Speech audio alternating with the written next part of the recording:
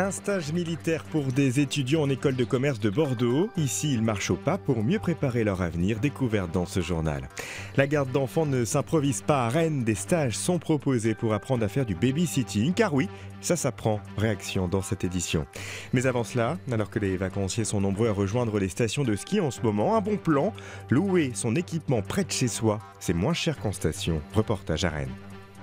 À des centaines de kilomètres des pistes, la saison de ski bat son plein à Rennes. Les vacanciers se bousculent dans le seul magasin de Bretagne à proposer de la location de ski.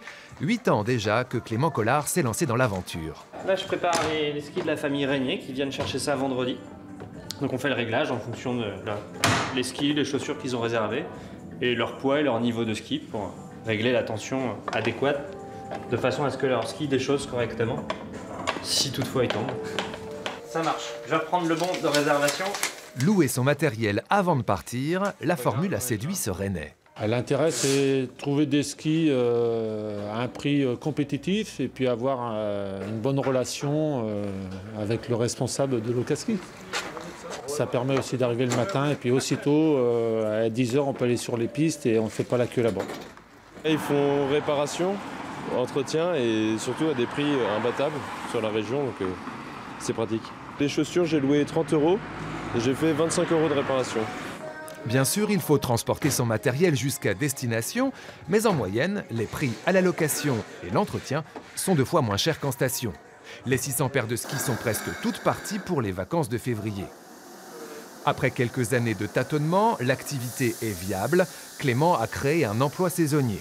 Pour lui, le plus frustrant, c'est de vivre tout l'hiver dans une ambiance de ski sans jamais voir la montagne. C'est un car pas tout à fait comme les autres. Celui-ci peut se coucher complètement sur le côté et même prendre feu en toute sécurité et sur commande.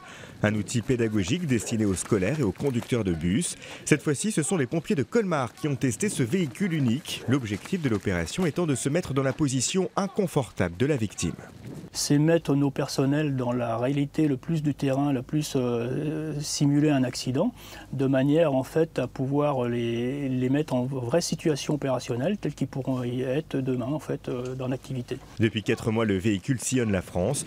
D'autres simulations doivent suivre pour à l'avenir mettre en place un réseau de formateurs chez les pompiers.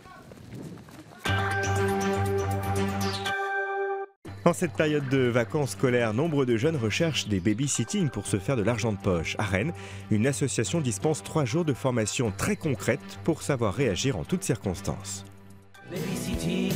c'est de maman, papa qui s'en vont pas. Pas évident le babysitting, les parents ont envie de prendre l'air, mais sans confier leur progéniture au premier venu. Et puis le ou la babysitter aimerait bien se faire un peu d'argent de poche, mais sans se retrouver non plus dépassé si jamais le bambin lui en fait voir de toutes les couleurs.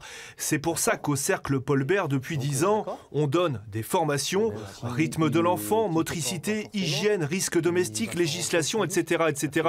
Ça peut aider. Pour me rassurer un peu, puis je pense que d'avoir euh, une formation, ça peut rassurer aussi les parents pour, euh, pour plus de confiance avec leur enfant aussi. Allez-y, fouiner dedans, il y a, des... Cette semaine, il n'y a que des filles, mais ce n'est pas tout le temps le cas. Pendant une heure ici, l'animateur va leur enseigner l'art de lire un livre.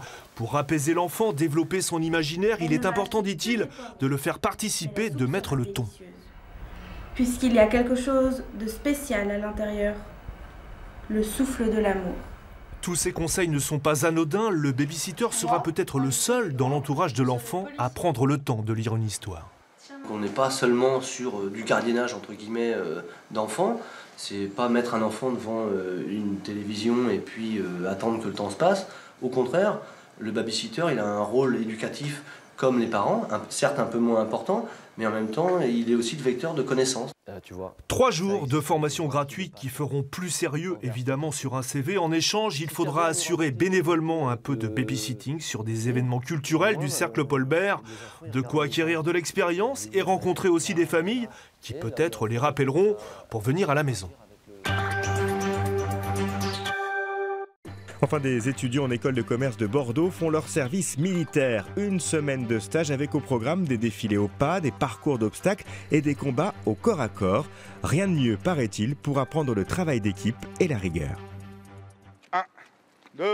Commencer sa journée avec du marché au pas, Eugénie n'en avait pas franchement l'habitude. Ça rigole qu'à moitié aujourd'hui là Ça va. On s'y habitue à force. Pourquoi vous êtes là?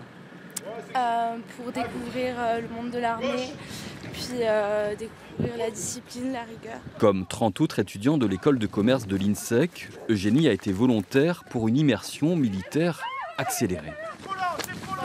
Et les formateurs de l'école militaire de Saint-Mexan les ont rapidement mis dans le bain.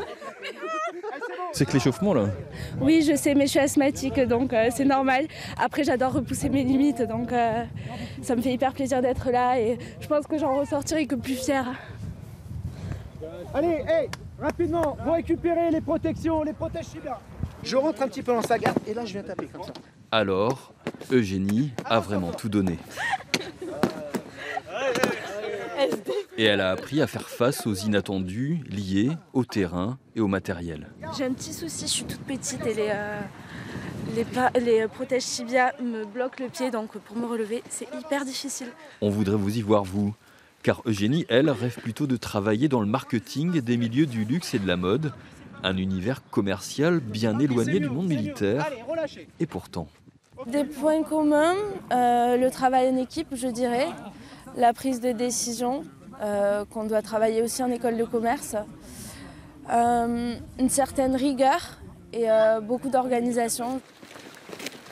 Et puis qui sait, après ce stage d'une semaine à l'ENSOA, elle rejoindra peut-être un jour les réservistes opérationnels.